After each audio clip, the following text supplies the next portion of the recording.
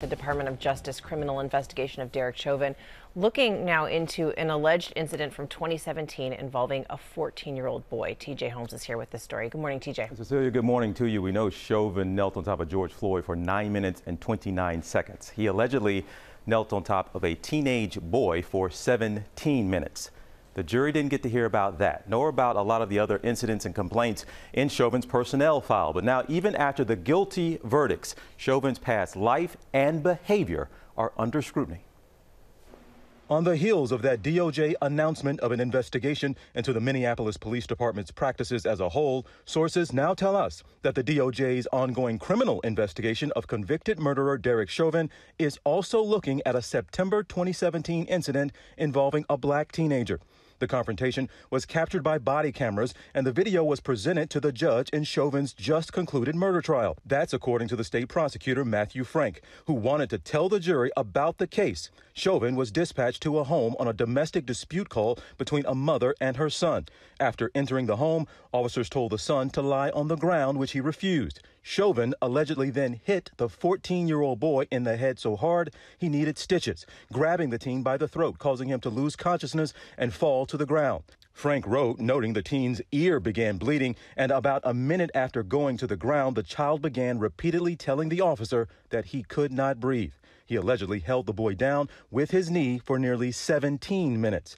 The U.S. Justice Department is still weighing whether to bring federal charges against Chauvin. We also have more information this morning about Chauvin's life on the force and off. Despite several commendations and awards during his 19 year career, Chauvin was named in at least 17 complaints, including one alleging excessive force during a traffic stop.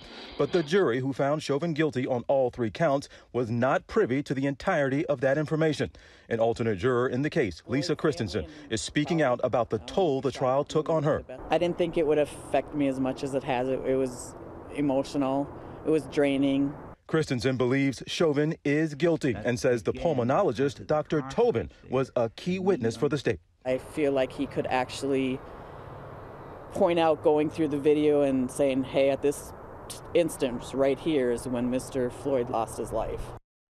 Uh, we mentioned those 17 complaints against him in his file. Only one resulted in any type of action, any discipline, and those were simply letters of reprimand. We do want to mention also there's a brand new ABC News Washington Post poll finds that 60% of Americans say the country should do more to hold police accountable for mistreatment of blacks in this country. 63% say black people and other minorities do not receive equal treatment. And a reminder, Cecilia sentencing for Chauvin is expected in June. Okay, TJ, thanks. We're going to talk about all this right now with ABC News Chief Legal Analyst Dan Abrams. Dan, let's just go right there with what TJ was saying that Chauvin had this case allegedly using his knee to hold down a teenager for nearly 17 minutes.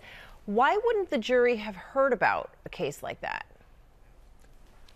So uh, typically, you don't admit in what are called bad acts, prior incidents, even prior crimes against a defendant in a trial because you want the jury to decide the case based on the evidence in front of it.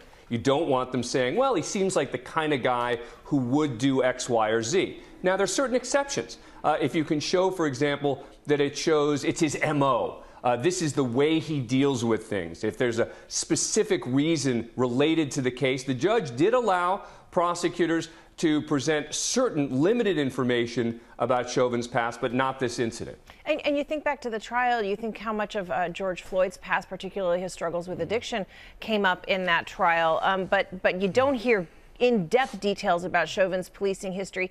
Is that unusual? Could it come up in sentencing? Uh, yes, it will come up in sentencing, meaning at sentencing, you have a, a, much bigger opportunity, a broader opportunity to present evidence about who the person is. And that's going to come in front of the judge. And I think a lot of what we're talking about is going to be heard uh, by the judge in the context of sentencing. With regard to George Floyd, again, the judge did not allow in uh, a lot of evidence that the defense wanted about George Floyd. But in this case, the defense was that it could have been a drug overdose. And there were drugs found in his system in this case. Not that it was some other case. Not that he used drugs and that therefore shows something. It was related specifically, the judge ruled, in this case. And that's why you heard some of that information about George Floyd's past drug use from the prosecution, by the way, as well, in an effort to say that this was not the cause of his death here. Okay, Dan, thank you so much. And tonight on a two-hour special of edition of 2020, an intimate portrait of George Floyd's life told by those closest to him. That is tonight at 9 Eastern right here on ABC.